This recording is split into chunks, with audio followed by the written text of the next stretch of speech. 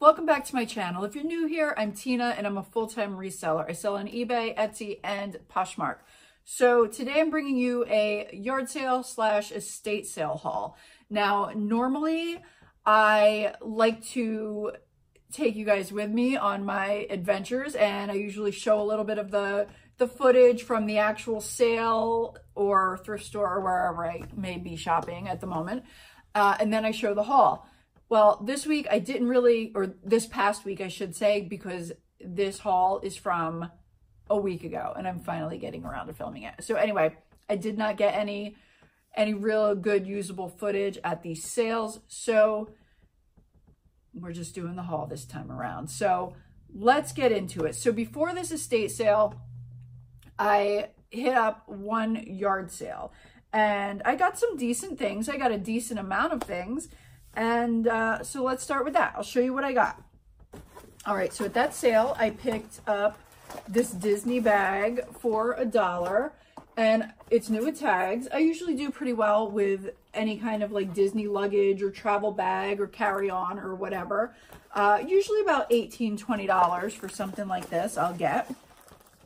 So not so bad. Uh, then at the same sale, I picked up the Sleeping Beauty doll.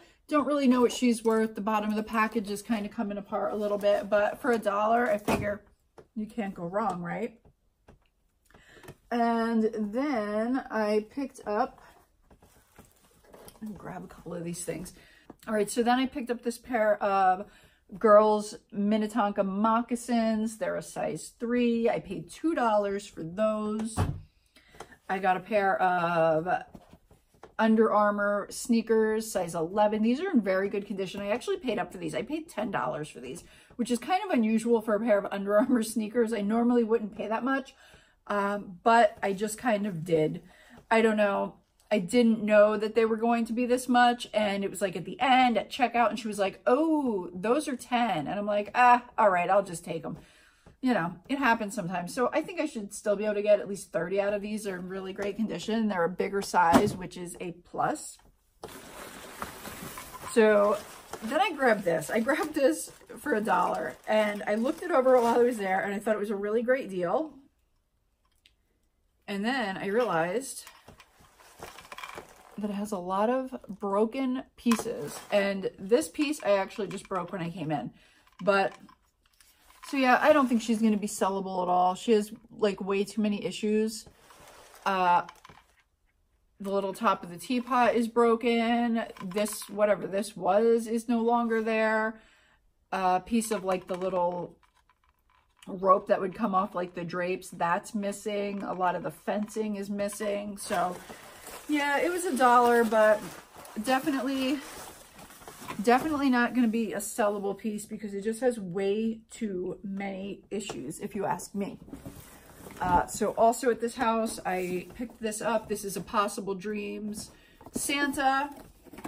This was a dollar, so I did grab it, but it is the Millennium Edition, and I, I tend to shy away from things because I feel like companies went crazy when it came to the year 2000 and producing stuff like this. So, but I will tell you, I'm pretty certain I sold this exact one before. And I think I got around 20 $25 for him. So, I mean, you never know. Someone may need their item replaced. They may have had this and loved it and dropped it or whatever. Oh, here we go. The backpack opens up. I forgot, this guy lights up. Well, he should light up. I don't think that there's any batteries in here. Let me try to open it real quick. Ooh. I don't think I'm going to be able to without like a knife or scissors or something. Push up to close. Yeah, well, pushing down to open is not working. I will check him out, but yeah. So we'll see. He was a dollar. We'll see if I can get this guy sold for Christmas. And then I grabbed, where is it? Where is it? I kind of um, put everything down here in a very messy way. Oh, here we go. So I grabbed this watch and I paid up for this too. I paid $10 and I'm really sad that I didn't buy all of them. She had about, I think six or seven uh, various designs. This is Eeyore on a pink band and it's still new in the package. And I think I should be able to get like $40 or more for him. And I, am kind of sad that I didn't buy all of them, but I didn't. So what are you going to do? But I did grab this one. I grabbed this for $2. This might have been a flop, but I like to take a chance sometimes. This is very tarnished. It looks like silver plate. It says uh, friendship heart, English silver. English silver, I, I guess, means silver plate by the looks of this. So I don't know. It is made in India. It did have the $2 price sticker on it before I took it off and it was covering up that made in India thing. But I mean, we'll check it out. I'll see. See if it's worth anything. It's in this really cute little bag. All right, so then I got some clothes. They were a dollar. I actually, um, I got an Adidas shirt it's like a long sleeve, but it's cropped. Really cute, totally on trend. And I picked that up for three, and that actually went to, that went to my daughter. She already has that in her clothing collection. This is, in case I needed a hand, I got, I got backup tonight, but she's, she's bumping into me now. All right, so anyway, uh, Kensie Performance, just a pair of cropped workout leggings. This is a Frosty the so Snowman scrub top. Then we have a Chaps No Iron. It's kind of a uh, black-red check. It's Paul Bunyan. It always reminds me of like a, I don't know, Paul Bunyan. That's what it reminds me of. All right, so then I grabbed a Lauren Conrad sweater size XL. This is this is nice. It's kind of soft. People love Lauren Conrad. It's a Kohl's brand, but it's got a following. I know I've said that before. I picked up this Lane Bryant 1416. This is really nice. It's like a nubby knit kind of sweater, so I think that will sell well. And then I got these Tek Gear leggings. I actually think I'm probably going to keep those for myself. And this is a pair of Calvin Klein performance leggings. I might give these to my daughter. I don't know yet. These are kind of cool though. They have like a little reflective strip down the side. And then here's another Chaps XXL, just a very kind of staple wardrobe piece, right? And another Chaps non-iron or no iron. So yeah, that is what I got at the first sale. Okay, so then I got to the estate sale. This company is generally known for being very reasonable and yeah, this time, I don't know. This time they were a little pricier, but uh, the best way is usually to bundle there and then ask for a price at the end, if you can. Now, this time, most of the stuff was already priced and it was pretty high. But I did manage to grab some stuff that was unmarked and just kind of bundled it all together and this is what I got. So in my Ikea bag, I grabbed this Fenton. It's like a pink iridescent vase with like an applied rose it's, you know, it's not the most spectacular Fenton piece, but I, you know, I think it's probably like a 20 $25 piece. Definitely, definitely. Uh, I grabbed these two Christmas ornaments. They are Irish. May the wind be always at your back and may the sunshine warm upon your face. So these are nice, very nice, probably made of like a like a porcelain. I I cannot think who made these. They normally have a little tag. Uh, I feel like I can't think I can't think of the company who normally does these, but they always put out like different sets of ornaments. and it's just not coming to me tonight. So I will have to look it up, but I think that these will do okay. I usually have, have luck with like the Irish stuff. So then I got this license plate puzzle, 1000 piece. It's sealed. United Plates of America. So I thought that was pretty cool. You guys know I love to grab puzzles if I can find them sealed. And that's just really neat. It's just a really neat puzzle. All right, so then I grabbed all of these Lenox placemats. Well, these I believe are napkins, but I tried to get the ones, there were some that had stains, so I tried not to get those. I did pick up these four. These are Butterfly Meadow. I realized after I got home, this one was likely sent through the washer. It's, it's a little bit smaller than the others, so it shrunk a little bit. Two of them are perfect, and one actually does have a little bit of marking, staining, whatever, right about, I don't know, because of the light, it's hard to see. It's like right in this area. So I did not notice that. I will still try to list those and just know all of that. I did grab these. These are three Butterfly Meadow napkins. They still have the tags on. And this one kind of almost looks like Butterfly Meadow, but yet it doesn't. Uh, it does have, it does have the Lenox tag, but it does not, it does not say the pattern of the, of this whatever this is. So I'm not quite sure. It's it's very close to Butterfly Meadow, but I don't believe that it is. Uh, but I could be wrong. All right, so then I grabbed all of these, and there are 22 of these here.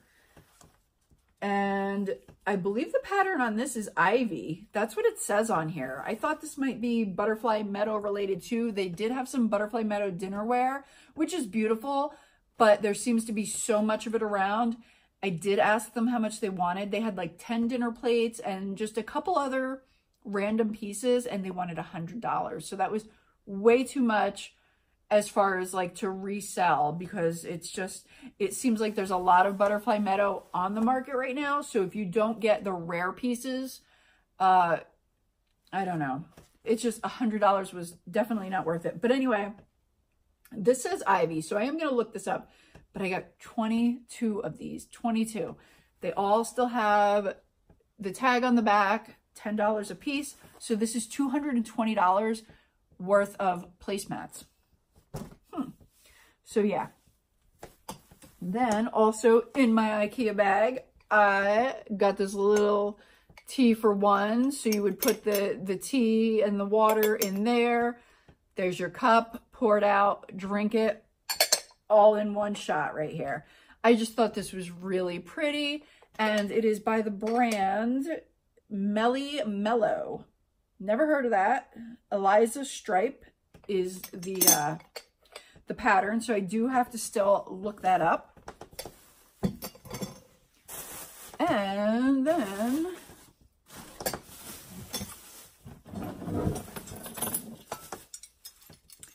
and then I grab this. Grab this guy right here. So this is a cast iron three keys. One is marked in the center. It says 1286 on this chain. I don't know what the heck this would be used for. I guess it's just decorative. I mean, I don't know. Like, where would you hang that from? I'm not really sure. What do you guys think this is for? like, what is this? I mean, I like I said, I'm guessing it's just decorative. I mean, these these are not usable, and they're huge. I mean, they're absolutely huge. So I don't think they would have ever been usable, you know, not even like, you know, it doesn't look like anyone took them and welded them together. Like it, it just looks like it was really made this way. So I don't know. If you guys know anything about this, let me know. I just thought it was really cool. And even as a decorative piece, which I'm, I'm sure that that's exactly what this is, just not sure where you hang it from or whatever, but I just, I had to pick that up. I just thought it was really cool.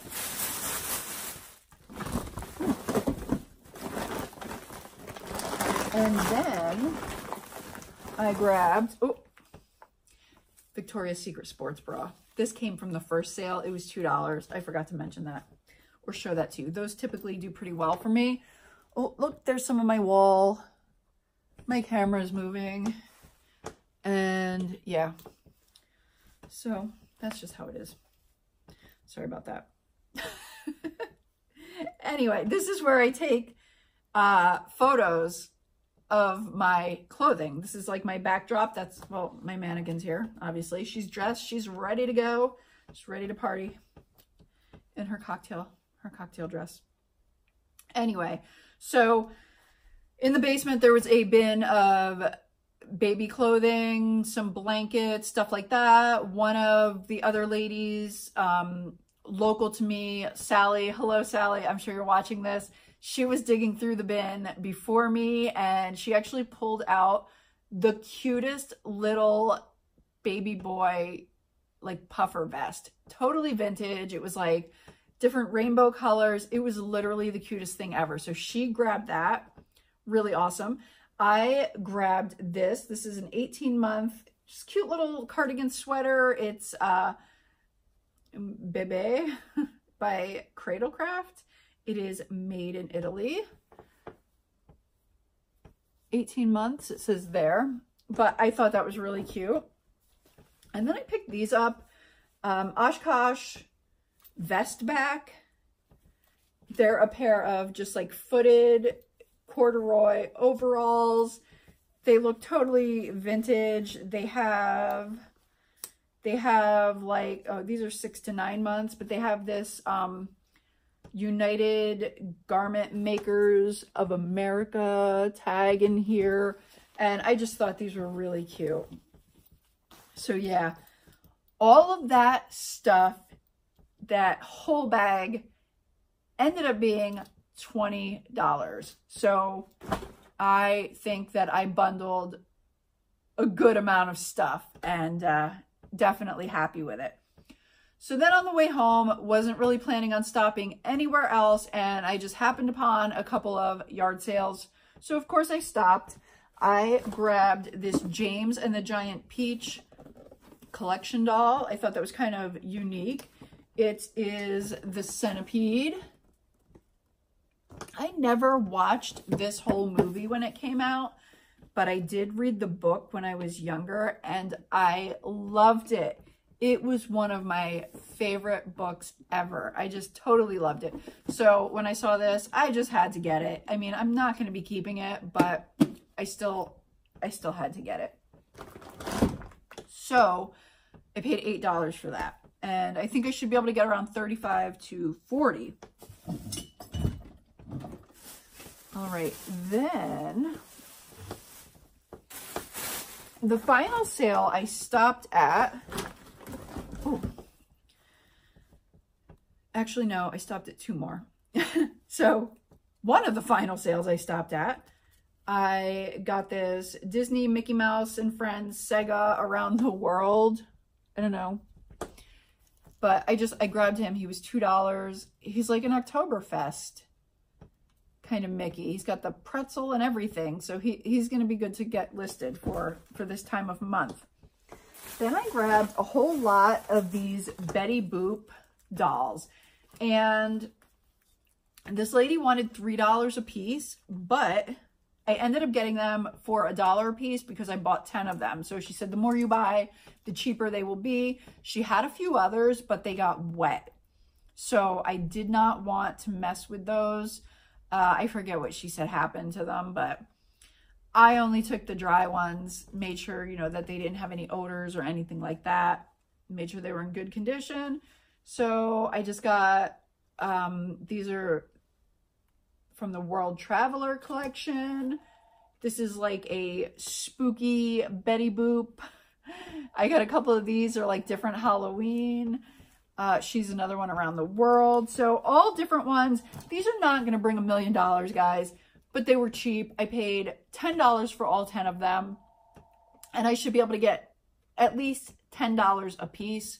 So, you know, that's going to be a good profit when all is said and done. And they're easy to list. Sell similar, change the photos, change the title a little bit, and boom, it's it's just easy money. So I just can't pass stuff up like this, even though, you know, like I said, it's not going to be like a super high profit or whatever, but it's still easy profit. So yeah, I'm not going to show you all of those, but I did get I did get a whole a whole bag of them, like I said, 10. Then I got this super cool t-shirt for a dollar. Loved it. So this is a vintage hefty by TJ's, I believe that says. It's um made in the USA. This the label is like torn in half. Made in the USA, size XL. It is a single stitch. And it's Alf. It's Alf. He's like in a director's chair, lunch, lunch always on his mind. And it says Florida on the bottom. But yeah, I just, I used to watch Alf all the time when I was a kid. I loved Alf. So really, really cool to find this. Paid a dollar for it. And I think that will do, will do really well.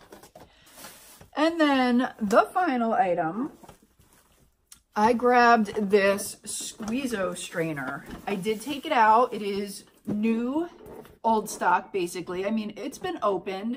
Uh, one piece has a little bit of like, not really rust, just kind of like a surface patina, I guess, just from age. But most of it is pretty nice and shiny. And this is basically uh, a way to like puree, you know, like tomatoes or let's see here, uh, tomatoes, apples, pumpkins, squash, berries, and more. So a lot of people can use these for like canning, preserving, and stuff like that. So I paid $5 for this, and I should be able to get about $45, $50 for this one, maybe even a little more. So pretty, pretty happy about that.